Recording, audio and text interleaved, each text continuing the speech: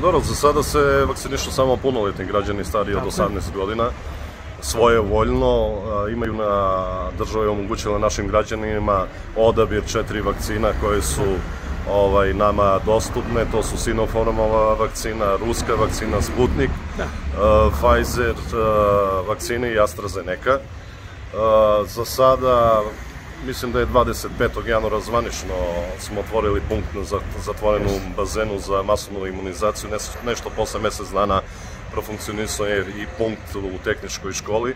Do sada je vakcinisano oko 12.000 punoletnih građana, što je negde oko 24-25% od puno... Govorimo o Pirotu. O Pirotu, što je negde oko 25 5% punoletnih građana je primilo prvu dozu vakcine, a negde oko 8-8,5 hiljade je primilo drugu dozu ovaj, vakcina, odnosno revakcinisano. Do sada proces imunizacije na ova dva punkta ovaj se odvija nesmetano, male su gužve, ljudi malo čekaju baš upravo iz razloga zato što su ekipe opšte bolnice. Svako čeka neku svoju vakcinu.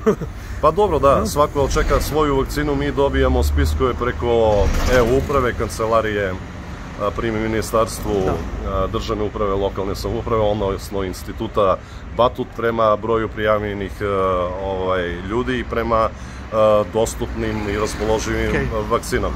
U ovom trenutku, eto i to neka bude informacija za naše ljude, u ovom trenutku koje vakcine ima, da li ljudi mogu da odu, recimo evo sad hoću da odem na, na bazen da se vakcinišem, da li tako može ili moram da se prijavim negde? Ne, i dalje funkcioniše, moraju ljudi da se e prijave preko EU uprave, to je osnov za, za, za vakcinaciju da iskažu interesovanje. Šta ima od vakcina trenutno?